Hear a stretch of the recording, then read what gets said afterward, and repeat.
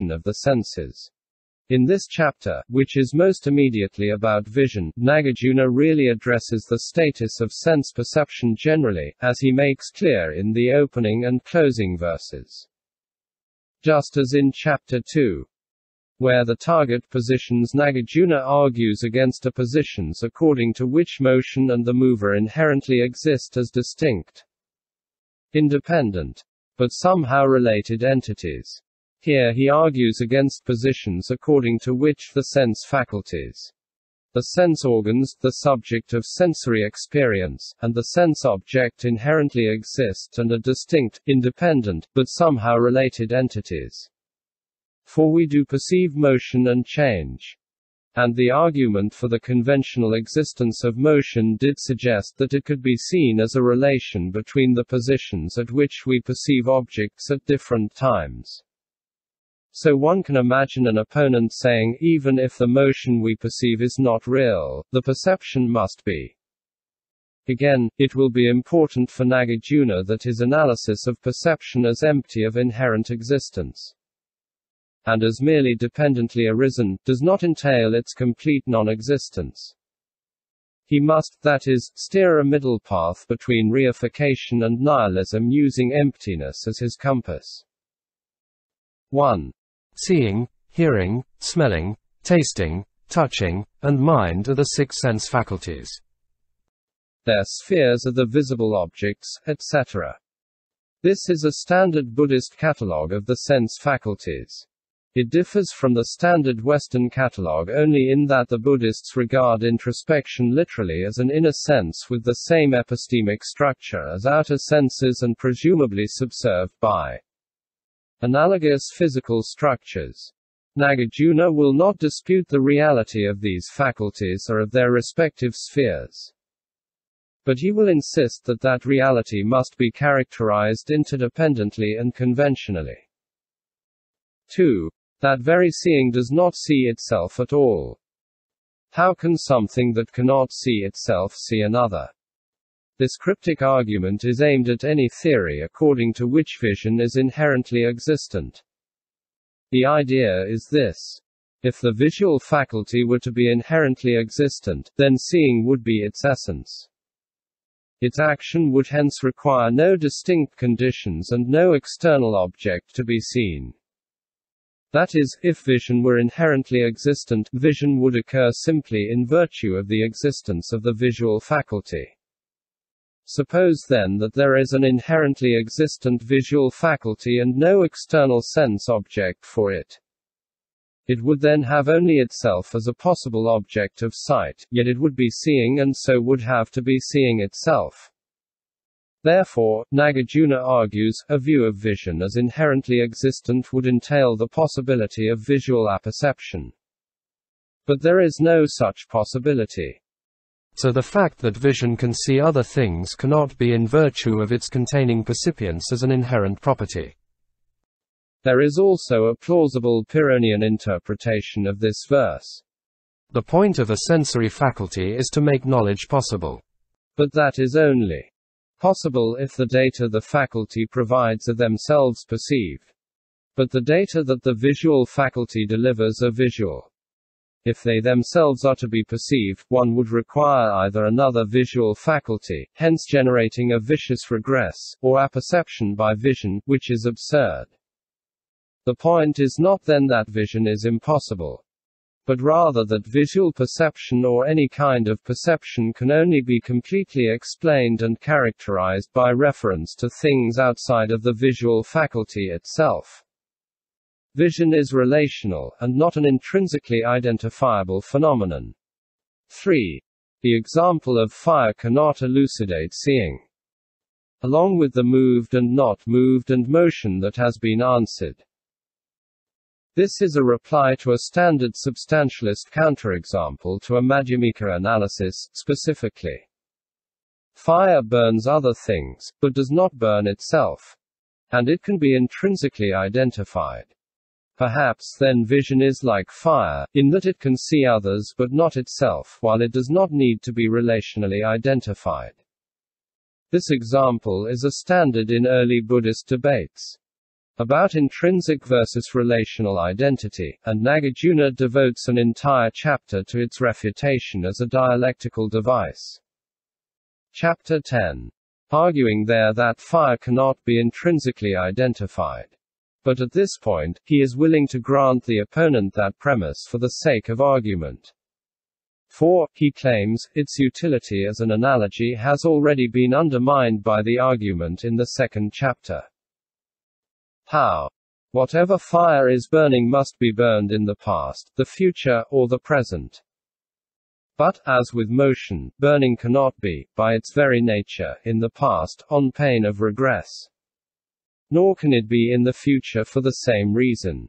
But burning cannot take place in the present either, for there is not enough time in an instant for anything to burn. Mutatis mutandis for vision. In the case of vision, for Nagarjuna, there is a further problem with vision of another in the present. The visual process and any sensory process takes time. So if vision is seeing another thing, the other thing is already past. The only thing that vision could see in the present is a visual sense impression. But then we are back to the problem of visual apperception. So even if fire were intrinsically identifiable, there is no point at which it could burn another. And if vision were intrinsically identifiable, there would be no moment at which it could see another. 4. When there is not even the slightest non-seeing seer. How could it make sense to say that seeing sees? When all there is to vision is visual perception, what is the motivation for positing an entity to undertake the process of perception? All there is to vision is the perceptual process. We don't need to posit an entity the visual faculty over and above the set of interdependent phenomena that subserve vision. The desire to do so is of a piece with the more general substantialist imperative to posit an independent substratum to support every capacity or property. 5. Seeing itself does not see. Non-seeing itself does not see. Through seeing itself, the clear analysis of the seer is understood. Perception is not accomplished by any independent entity known as vision. But that doesn't mean that things that are incapable of sight thereby perceive.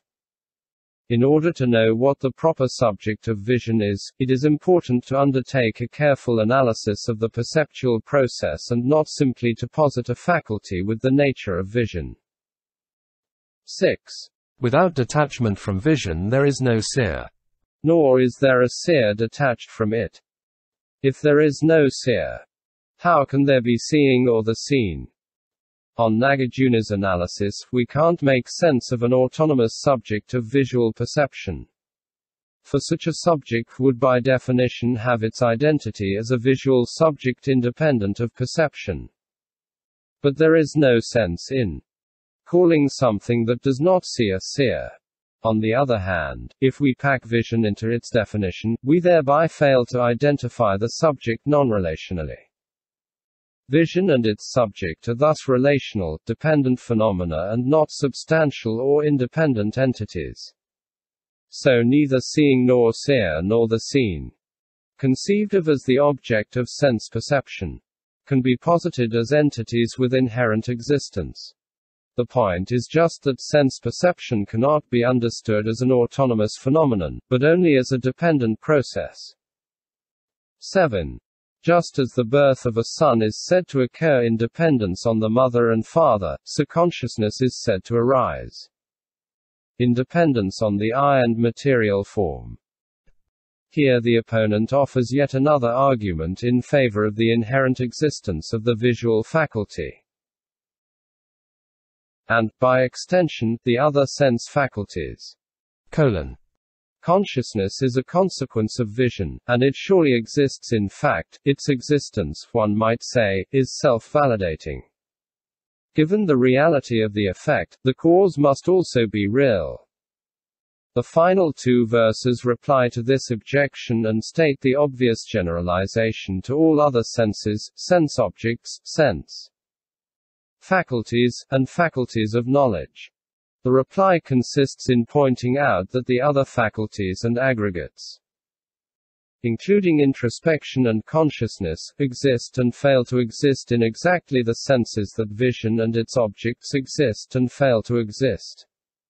All are empty of inherent independent existence. But all exist conventionally. So the effect that, according to this interlocutor, exists inherently and demands an inherently existent cause does not so exist. And in the sense that it exists, its causes also exist. 8. From the non-existence of seeing and the seen it follows that the other four faculties of knowledge do not exist. And all the aggregates, etc. are the same way. 9. Like the seen, the heard, the smelled, the tasted, and the touched. The hearer, sound, etc. Comma. And consciousness should be understood. Again, the point of this chapter is emphatically not that there is no perception, or that there are no sense faculties, sense organs, or sense objects. Rather the point is that none of these can be analyzed successfully as autonomous entities. They are interdependent phenomena that depend for their existence and their character on each other. None of them exists independently.